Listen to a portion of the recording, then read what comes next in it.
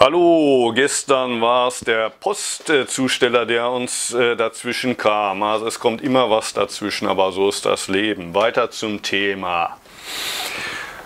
Wer sorgt eigentlich dafür, dass es äh, hinter den manchmal gar nicht existierenden Klostermauern auch äh, rechter Dinge zugeht? Ne?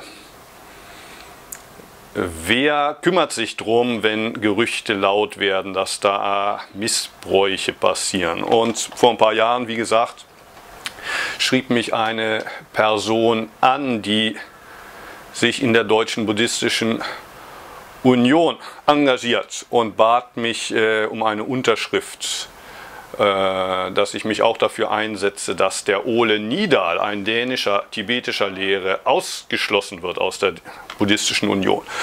Und während der 80er bin ich als äh, äh, Abiturient nur einmal äh, dem Ole Nidal äh, begegnet, der damals äh, einen Vortrag in Braunschweig im Wohnzimmer eines Freundes hielt. Da war so ein gutes Dutzend von Leuten. Ne? Also damals war er noch nicht ganz so bekannt, wie er dann später wurde. Ähm, inzwischen gehört er wahrscheinlich zu den bekanntesten europäischen äh, buddhistischen Lehrern. Und mir äh, ist er als äh, sehr sympathische Type in Erinnerung geblieben. Ne? Als ich reinkam, da saß er gerade mit seinen Freunden am Tisch und lud mich ein, mich doch dazu zu setzen und mit denen Abend zu essen. Ich hatte da gerade, ich war da gerade so auf dem Fastentrip. Ne? Das habe ich häufiger gemacht als Abiturient, dass ich gesagt habe, ich esse jetzt mal für ein, zwei Wochen nichts. Ich war gerade auf dem Fastentrip, deshalb habe ich gesagt, nein, danke. Ne? Und der Vortrag, das war halt tibetischer Buddhismus. Ne? Das, das kam mir alles ein bisschen mysteriös, äh, mysteriös, Hokuspokus-mäßig äh, vor. Ne? Also obwohl ich den Ole selber sympathisch fand, habe ich gesagt, nee, ich bleibe jetzt doch lieber beim Zen. Ähm, also ich persönlich äh, habe nichts gegen den Ole Nidal. Allerdings, was ich da so gehört habe an Gerüchten, aber wie gesagt, es sind nur Internetgerüchte, da ist natürlich äh,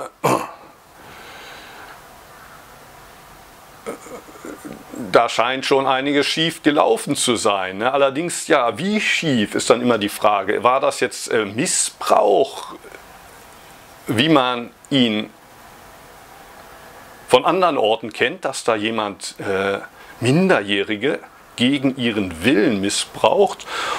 Oder war da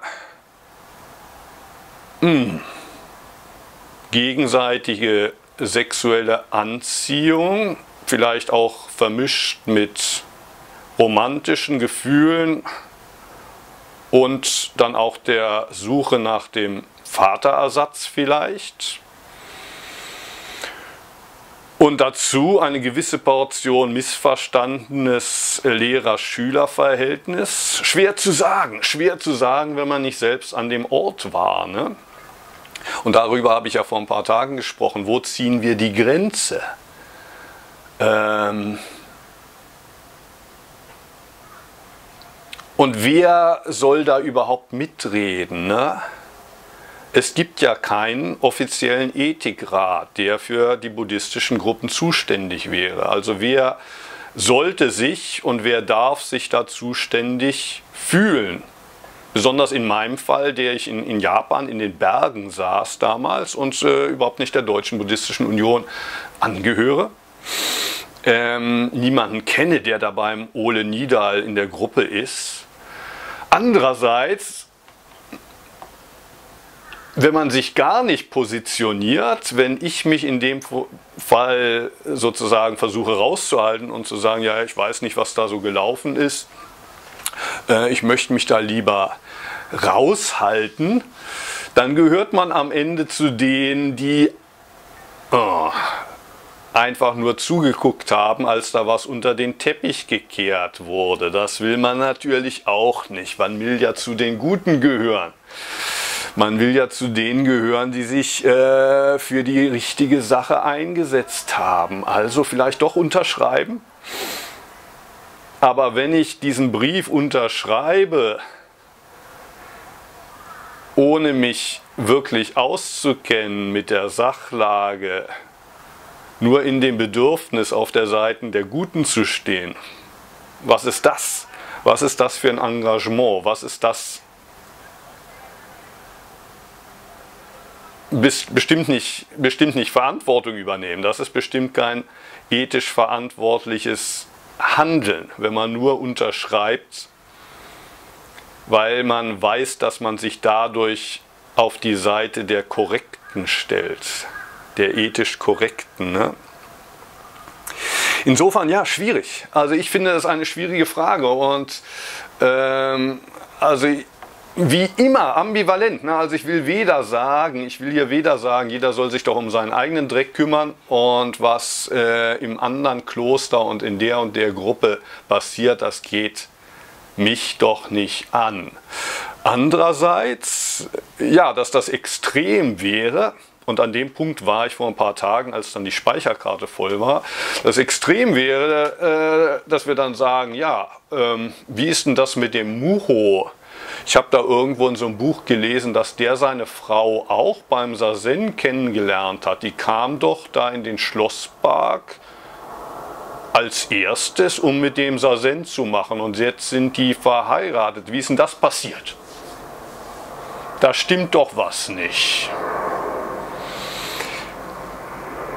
Oder ich meine, das, äh, was ich dann eher zum Anlass für eine Satire genommen habe, dass dann jemand sagt, ja, wie viele Schüler von dem Meister sind denn erleuchtet? Was ist denn die Quote von Kenshos, äh, die es bei so einem Session in Antaiji gibt? Ähm, wir brauchen da mal so einen Kensho-Rat, einen Satori-Rat, der mal auch äh, genau prüft, wie viele Leute von den von wie viele von den Leuten denn auch wirklich erleuchtet sind. Ne? Irgendwann wird es albern, ne? Irgendwann wird das Ganze albern. Aber ich meine, wenn wir hier tatsächlich über Missbrauch sprechen, ist es ja ein Problem. Es ist ein Problem. Und ähm, in der Mail, die ich vorgelesen habe, der Schreiber der Mail schreibt ja letztendlich, ähm, ich dachte weniger an Mitleid als an Verantwortung in Fragezeichen die gerade in katholischen Klöstern und von deren Äbten, Ordensoberen unter den Teppich gekehrt oder verschwiegen werden, so, so als sei nichts geschehen. Eine Lösung habe ich auch nicht, schreibt der Fragesteller, außer der Hilfe bei der Bewältigung der persönlichen Traumata für die Betroffenen.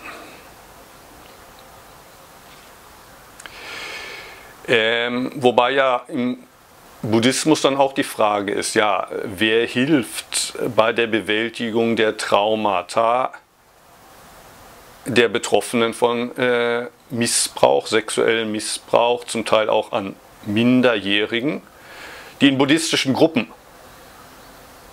vorgekommen sind. Sind da die anderen Lehrer, die aus ganz anderen Traditionen zum Beispiel kommen, mitverantwortlich? Und was haben die denn auch tatsächlich damit anzubieten? Ähm, wünschen, dass sich die Opfer des einen buddhistischen Lehrers überhaupt, dass sich dann plötzlich ein anderer buddhistischer Lehrer sozusagen äh, mit seiner Empathie um sie kümmert und sagt, ja, jetzt äh, gieße ich dir Balsam über deine Seele, damit es dir besser geht. Schwierig, schwierig. Hm, vielleicht sind diese Probleme bei den Zen-Klöstern und den Sanghas besser gelöst. Nein, äh, ich fürchte, das ist nicht der Fall. Ähm, und dann von demselben Fragesteller äh, später noch eine Ergänzung. Als einen weiteren Hinweis und eine indirekte Anfrage zu deinen Darlegungen hätte ich noch ein folgendes, teilweise in Anführungszeichen verschwiegenes Thema als ich mich früher intensiv mit Zen beschäftigte, hatte ich vor allem die Quellen von Hugo Lassalle Eugen Herrigel, Karl Fried Graf Dürkheim, Tetalo Suzuki und anderen. Vorwiegend war es also eine der früheren Kriegsethik des Nationalsozialismus und an die Glorifizierung der Samurai verbundene Schwertkultur, was ich aber erst später durch Studien erkannte. Aus diesem früheren, dann oft von den betroffenen Predigern verleugnetem Umfeld gibt es ja noch einige Schulen und Richtungen im Zen-Buddhismus, auch in Deutschland aber nun wahrscheinlich eher mit der Shaolin-Welle verbunden. Ich hatte an dieses Thema gerade bei deinen Darlegungen zur Suche nach dem richtigen Meister gedacht und mich gefragt, inwieweit sich der nicht nur von dir vertretene Zen-Zweig von dieser strengen, fast faschistischen Richtung inzwischen getrennt hat oder ob dies noch ein in Klammern verschwiegenes Problem ist. Aber so wie ich es oft erfahre, kann es auch sein, dass viele der Jüngeren, heute Zen-Begeisterten und Praktizierenden davon nichts wissen oder nicht mehr hören wollen. Ähm, hier wird der Bogen gespannt zu einem ganz anderen Thema, äh, Zen und Faschismus.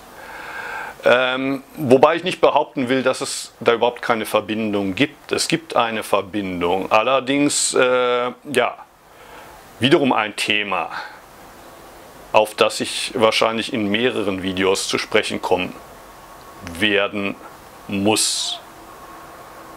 Heute erstmal Schluss. Bis morgen.